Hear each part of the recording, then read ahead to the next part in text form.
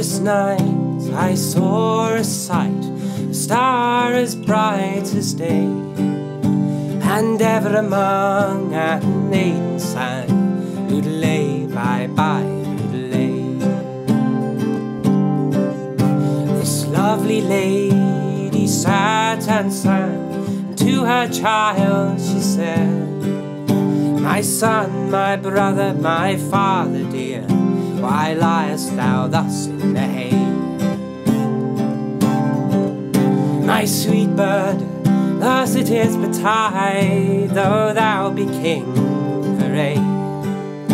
But nevertheless I you will not cease to sing bye-bye The child then spake, and in his talking, and to his mother he said, I am cared as heaven's king, in a though I be laid.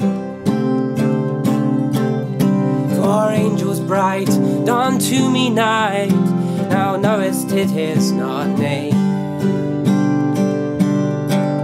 And of that sight thou mayest blight to sing bye-bye.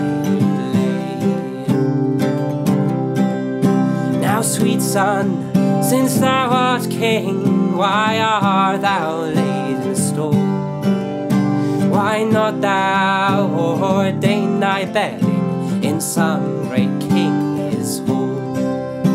Methinks it right that king or knight should lie in the array, and then among it were not wrong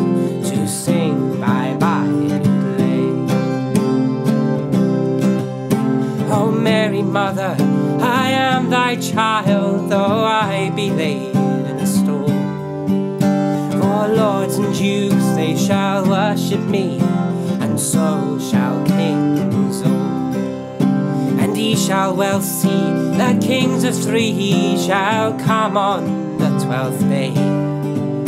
For this behest, give me thy breast, and sing bye bye. Tell me, sweet son, I do thee pray, thou art my love and dear. And how should I keep thy to thy pay, and make thee glad of cheer? For all thou wilt, I would fulfill, thou wilt first fell and fair. And for all this, I would thee kiss, and sing